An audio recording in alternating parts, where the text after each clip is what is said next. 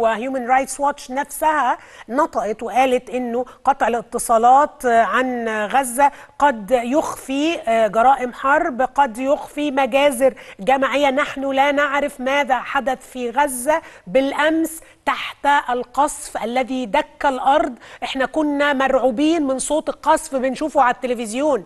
فما بالك بمن يعيشونه كل يوم؟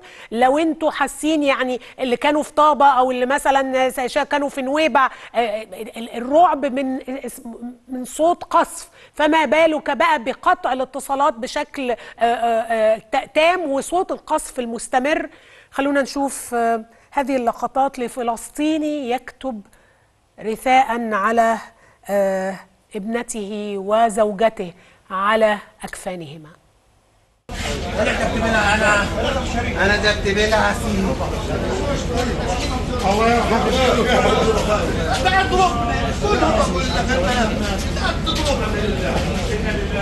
هيك يا نفسها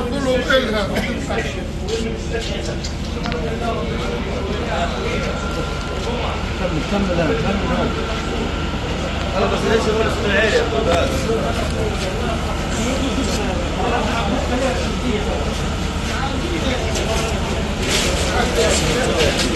تسليم محمود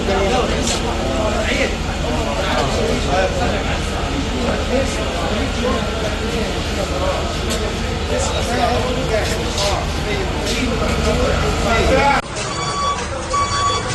عمري يابا يابا لا والله اشتقت لك يا عمري شهر؟ كم شهر؟ ثمان شهور يا عمري يابا لا يا مين أمعك؟ تسلمي بحسن لا يابا أمان يابا والله كان نفسي اشوفك وحضر لك. يا عمري لا يا ربي لا يابا سميها سميها يا ربي لا سميها. مسك يابا مسك والله ما بيحلم مسك لا يابا يابا نفسي اشوفك يابا كنت احلم اشوفك يا يا قلبي خليني أنا؟ جهاد قاسم جهاد قاسم مشاهد دي بقينا بنشوفها كل يوم وكأن العالم اعتاد على مشاهد القتل ومشاهد الحزن ومشاهد الوجع.